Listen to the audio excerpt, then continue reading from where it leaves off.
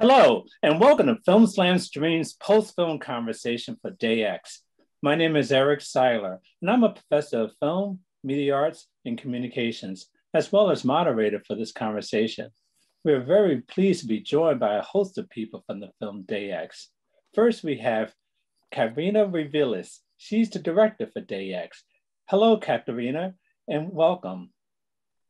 Hello, thank you for having us. Next, we have the writer for Day X, Samuel Chalela. Hello, Samuel, and welcome. Hello, thank you very much for the invitation. Next, we have Julia uh, Shelhas. She was the cinematographer for Day X. Hello, Julia, and welcome. Hello, thank you for having us here. And last but not least, you might recognize her from the film as Frida. We have uh, Ninel Shipkatz. I believe I said that correctly. Hello, Ninel, and welcome. Hi. Okay, it's so good to have all of you here for this brilliant um, film. So let me start with the director. I'll just, just go around and ask each of your question, uh, Katharina. Um, so as a director for this film, did you work with Samuel? Did Samuel come to you with the idea or did you go to Samuel with the idea to get this um, film uh, um, done? So we started this project in film school and there was a seminar where there was a speed dating with authors and directors. And we just had a five minute conversation. And after that, I had to take a flight to Cuba. and, but it was really nice. And we immediately got along really well. And I had this idea of a film that I pitched him really quickly. And we decided to work together. That was it. Oh, good, good. So Samuel, when, she, when um, Katharina pitched the idea to you, uh, did you know much about um, that um, day um, back in the 1950s, or did you have to research it to write it? Um, not really. We we did our research. Um, the um, film is based slightly on a, um, on an experience that actually um, Katharina had. Maybe she can later um, explain a bit more about that. Um, but it was, uh, yeah, more or less uh, this this character, this this kid, um, watching stuff happening outside her window, um, and feeling that anguish and that fear, and not knowing uh, what it was uh, that she was afraid of. In a sense, and I did uh, back in Colombia, where I come from, uh, have something similar. Um, so we clicked actually immediately, and then we kind of placed the story back to Germany. Um, and we did our research and we found like this period of time that we found both quite interesting um, in which such a story could, could develop. So that was more like the, the process of finding, um, yeah, a okay. period of time. Good, good. A great collaborative effort there. Now, um, Julia, you got pulled into this project. How did you get um, connected with this project? Did you know um, Katharina and Samuel ahead of time? Uh, yes, I knew Katharina. Uh, we um, already did a project together and uh, we know each other a long time now. and uh, and yes, and uh, she showed me the script and uh, was beautiful and we did it. you did. You did a really beautiful job capturing the images and making making us feel like we were experiencing that day. Now, um, Nael, as an actress, um, did you, how did you get cast in this? Were you um, part of a casting call? Tell us a little bit about that process. Um, Katharina and my parents have friends that lives um, in the house where Katharina lives, and so there, I think my friend, my parents told her something about me, uh, and then I was invited to casting. Yeah. Now, now, have you done any acting before this, or was this your first acting role? Um, not films, but like um some how do you call it? Werbe spots. Commercials, image films. Yeah. Oh, great! And um, finally, you were you were supposed to play an eight-year-old girl in a um, film. Um, how how old are you now? Are you you look a little older than eight. Yes. Um,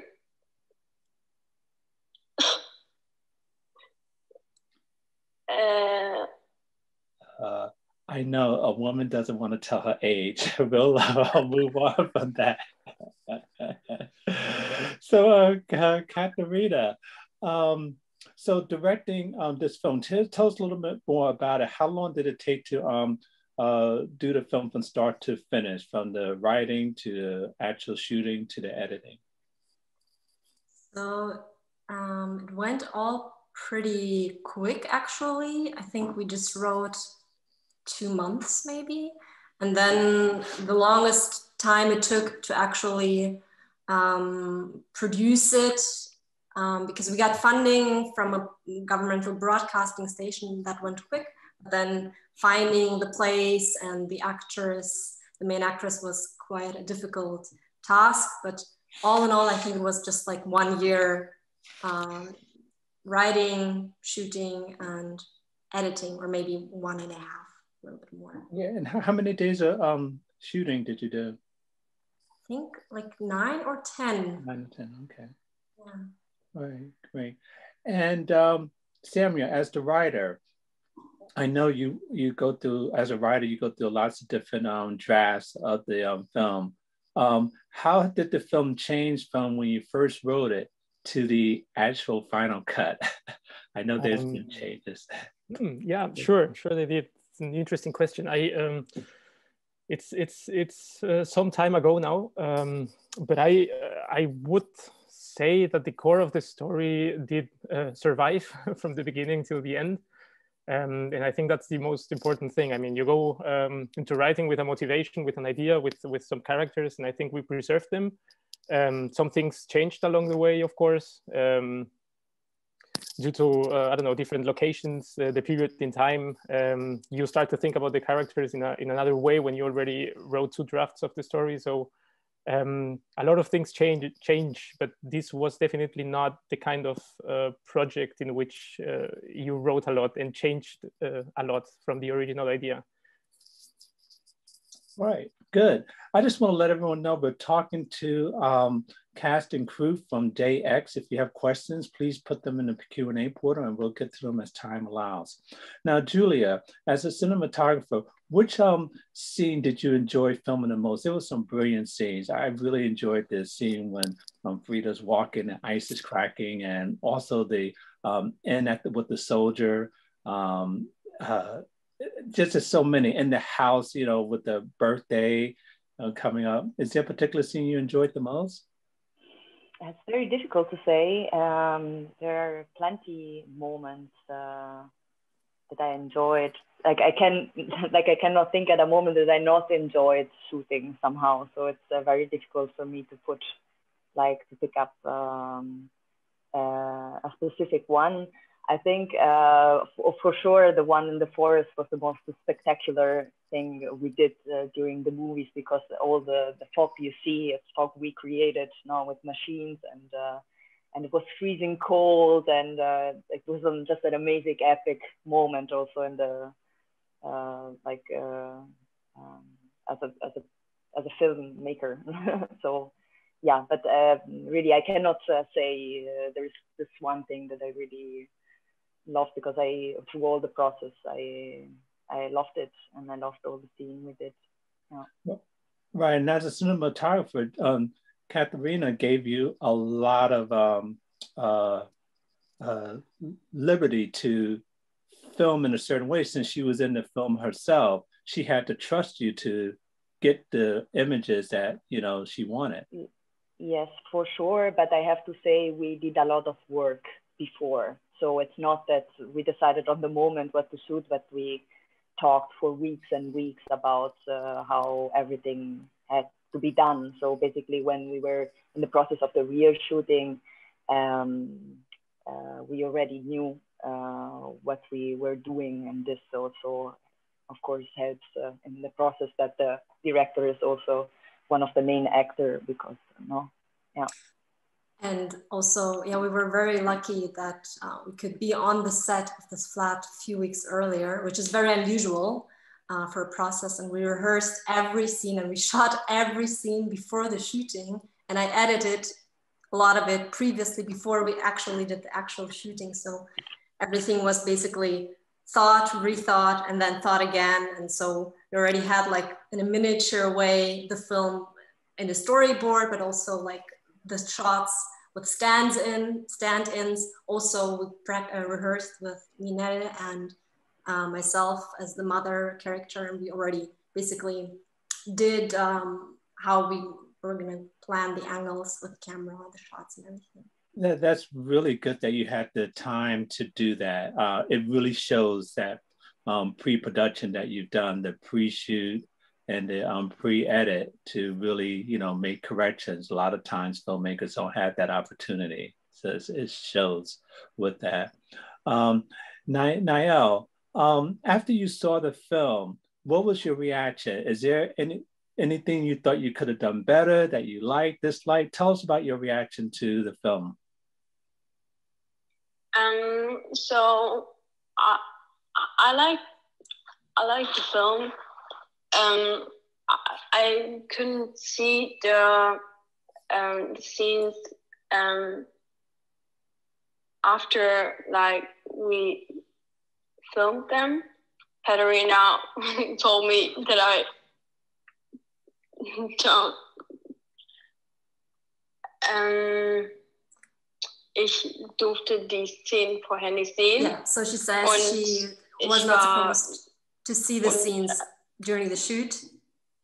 Hm, und ähm, ja, also ich war nicht überrascht, aber ich war, also es hat mir sehr gut gefallen. So es war nur nicht ganz das, was ich erwartet habe. So she was not surprised, but she really liked it.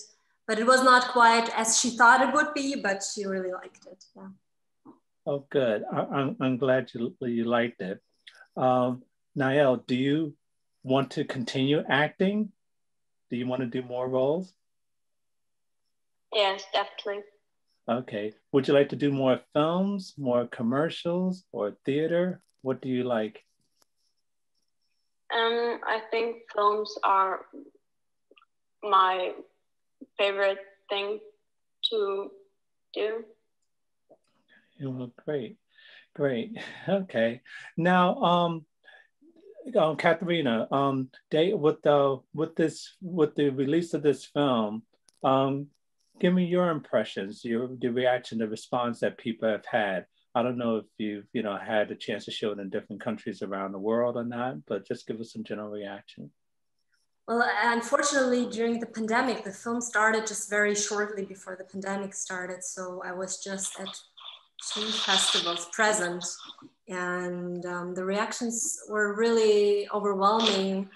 Um, we showed it in France, and uh, it was a lot of also very young people watching it, and they responded very strongly. But also in the summer, we showed it in the festival in Bavaria, and it was mainly people 50, 60 and up and they were very surprised that this film also had a run on children and youth festivals that they didn't understand because for them this was a political film and it had this complex historical uh, setup how this could also be perceived by a young audience because for them it was very complex but i think this is um, what really made me happy because it speaks on the personal level of the tragedy of the person of the character of frida um, with to the relationship and her mother, what's happening within the family. It's very, um, you know, it, it, can, speaks to different kind of generations, and also it has this political, uh, you know, event which maybe is more complex to understand, and this also speaks to elder uh, people. So I thought it was really interesting that it worked out, and I was very happy about that. But so far for us, it would be very interesting to hear from the audience now because we were basically all almost all digitally this year or last year and we would be very happy if there's any questions because for us it's the first time a q&a like this is online we'd be very happy to hear something right absolutely absolutely yeah so please put your questions in the q&a portal and we'll get to them um, samuel um, the ending of the film uh, I have to admit, I was I wasn't sure what was going to happen between the soldier and Frida. Why did you choose that ending? You could have, you know, chose a number of different endings. What was the whole point of, you know, wrapping up the story? Mm, interesting. um, what was the whole point? Um, well, I guess more than more than a point or a um, or, or an, uh, how do you say that? Uh, more than more than a goal I think we stayed true to the character, and um, that is uh, one major uh, challenge I think when you're writing because as you said um, you have like this like this this confrontation well kind of confrontation at the end and the the threat is there and the fear is there and you can you can sense it. And then we could we could have gone in a number of ways but I think um, giving Frida this kind of um, um rebel attitude in a way in this um, smart ass kind of thing um, that that works uh, a lot for the character because um, you know you you understand the character and the fear and the anguish and everything but we didn't we didn't push it like in a in a plot kind of way. We didn't want to um, you know make it more than than, than it was so to speak. So um, i think the, the, the major challenge and, and what we focused on was staying true to the character and and try really to think what would this character do in that moment um, it also at the end it, it, it really brings kind of a glimpse of hope in this tragic or dramatic um, context um, and this is and, and this is uh, more the response of the of the soldier uh, that is able to see that he's like in front of a child and not in front of a uh, I don't know an enemy in that sense. So that's like the glimpse of humanity that that we want to we wanted to um, you know uh, portray um, regardless of the context. Okay. Yeah, well, um, yeah, that, that makes a lot of sense. But we do have one question that's come in. Someone wants to know, anyone can answer this. What was the point of the um, slide um, projected that Frida received as a birthday gift? So I guess they want to know what was the point of that. I don't know. Samuel or Katharina. The point of what again? I didn't. I didn't um, hear that. The, the the gift that um Frida received for her birthday. What was oh. the point of the gift? Um, Katharina. I mean, it's uh, it's called a stereoscope. Okay. Um, it's a thing that people used to look at images, and it was very rare in the GDR at this time I mean, people did not have a television. Um, and looking at images, I mean, it's like looking at books with images, and it's also 3D, this kind of thing. I actually still have it. it's right there. Um, it's, yeah, it's very fascinating because you have this light and you can just like really fall into this image. If you like come closer, you basically see a three dimensional. It's like imagining a movie if you like slide through different images through it. So it's it's like pre-form of watching a film, but with your imagination. So I thought it was nice, uh, something nice to have for a child. Yeah. Oh, good, good. And another question is, it's a, I guess it's a follow-up to this, is um, how did you um, get all of the props and the locations um, and how, how, did you get all the props and the locations to make this film? So I guess they're wondering how did you make it look like it was, you know, back in the 1950s? Yeah, so we had this uh, really amazing set designer, Tatiana Bastos, and she went hunting on things. We have this platform online where you can um, trade or buy. Or we did not have much money, obviously, as uh, students. Um, so we basically looked on the platform who gives away old stuff for free and like the big furniture, um, a lot of it we got for free from this platform. We wrote them. We really love this radio, for instance. We got it as a gift or the couch we have. But then a lot of stuff also came from a fundus. Is that the right word? Fundus, like a place where you borrow stuff for film uh, props.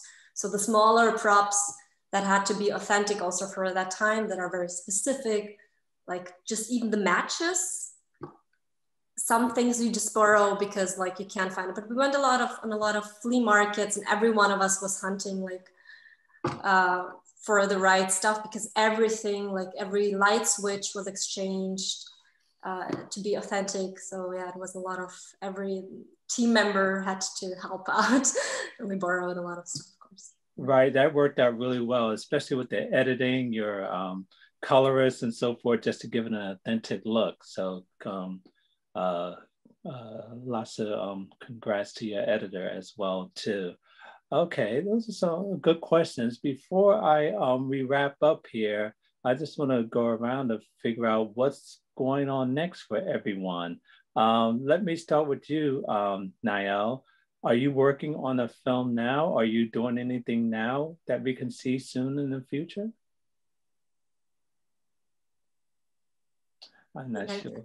Nael, oh, you hear me? Um, right now it's a bit difficult because um, I I have all the time like e-castings because of Corona. Yeah, but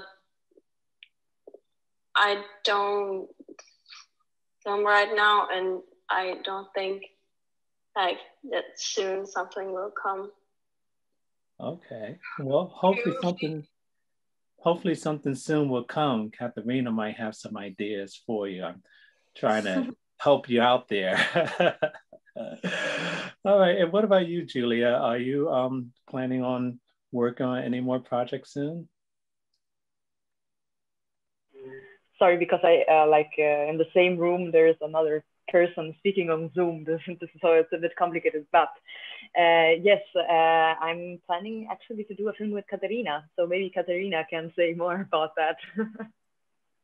okay, great, great. Uh, let me uh, I'll get to you last, Katharina. And why I'm going to talk to Samuel. While I'm doing that, can you get the um, stereoscope? Because I want to see that too while I, I talk to Samuel. So Samuel, what about you? Are you going to, what are you writing next or doing next that we can see soon? Um, I finished writing last year a short film and a feature film, and I'm uh, kind of leaning towards direction. So right now I'm, um, you know, starting to look around for funding and so on, potential um, partners in crime and so on. Those are uh, stories in Colombia. So I'm living in Germany, so it's kind of a, a weird uh, way to work. But let's see, let's see how it goes. Oh, great! Well, good luck with that. Good luck. hey, Katharina, uh, before we hear what you're doing next, um, you have one of the props from the film. So, did, where did you find that? On the internet, where you find all these weird things. so somebody sent it for me from another town but they actually forgot to send the electricity plug. And so I had to find it because it's a very old one that doesn't exist. So yeah, but they had everything, the box and somebody did not use it much. Yeah, I kept it as a memory. I tried to keep one memory prop of each film. This was it. yeah, that, that is a good part. And it, and it actually um, actually works too. Mm-hmm, yeah. Okay, yeah. so okay, it just wasn't as a prop, then you made it look like it worked. Okay, great. We have one last question that's coming for you, Katharina, is um, they want to, well, I'll answer this. Yes, Katharina did play the mother and they wanted to know uh, why did you decide to cast yourself in the film? It was something that I did not uh, invent and plan in the first place, but I'm also a professionally trained actress. And I always had this idea, okay, I'm gonna do it at some point. and so during the casting, as we were looking at different um, characters or actresses for the girl and also for the mother, and I found uh, Ninel first. And um, we did a really nice casting together because I was always playing myself in the casting and I thought we had like a very interesting combination or energy, which was yeah, kind of magical. And I um, as we were looking at different people. And for me, it was also very important to have this kind of that the people have these connections, the actors. And I also wanted to rehearse. And this way, I then decided, okay, I think I actually have this special connection to Ninel, and I think it would be interesting to try it. And it was not something that I planned. I had to first explain it to Samuel and to Julia and the producer. But then we did actually a rehearsal before I made the final decision and it went really well. And I thought, okay, it feels right. And it's something very interesting because then it's only us and that I don't have to direct another actress and tell her in the breaks, but I can basically steer the scene myself with the rhythm uh, from inside as the mother. And it, it was a very lucky constellation. It, it, it, did work out really well. Uh, thank you for giving us that insight. And, finally, Katharina, uh, what's next for you? Uh, Julia mentioned that you're working on something else. Um, can you tell us a little bit about that? Yeah, it's a project about a young girl coming from Germany as an exchange student to the US and exploring uh, the rural America in New Mexico. She lands in a very small town and uh, makes her experiences, first experiences of being on her own in a society. And it's set during um, 9-11, so it's a very special and tense uh, moment in time also and the project is going to be called I'll Be Gone in June, and we hope to shoot next year in New Mexico. That would be oh, really that nice. Sounds, that sounds really interesting. Really interesting. Good luck with that. And um, if you're looking for any actors, you have one right here, um, Nael. I'm sure she would be, if she's available, she would love to be in your film. See, Nael, Nael, I'm trying to help you out. well, this has been such a great conversation. I thank you all for your time. We are pleased to be joined today by the director, um, Katharina, and the writer, Samuel, and the cinematographer, Julia, and the actor, Niall, from the film Day X. So thank you all very much for your time today. Thank you so much for your time. And thank you to our audience for joining us for this important and invigorating conversation. For more information about the current 45th Cleveland International Film Festival and any future film festivals, please continue to follow Cleveland Films on social media or visit clevelandfilm.org. I'm Eric Siler. Thank you.